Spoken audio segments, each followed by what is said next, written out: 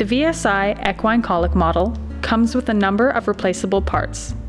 These include the venipuncture fluid bag, the equine spleen and kidney with renosplenic ligament, palpable aorta, and equine uterus model with ovary set.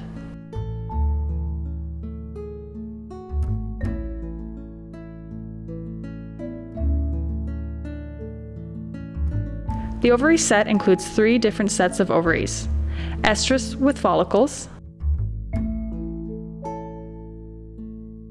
estrus, and anestrus. The model also comes with the abdominocentesis belly tap function, which can be filled with fluid and has a palpable linea. The ovaries are interchangeable and are easily attached to the equine uterus model. The venipuncture tubing is easily attached to the fluid bag.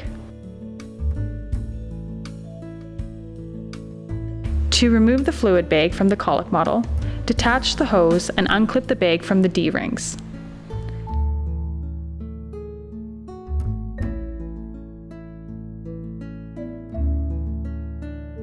The aorta is easily removed and replaced, as shown.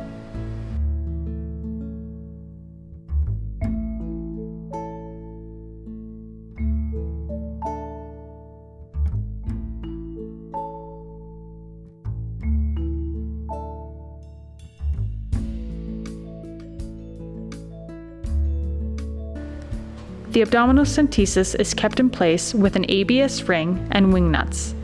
Remove these items in order to remove the abdominocentesis piece.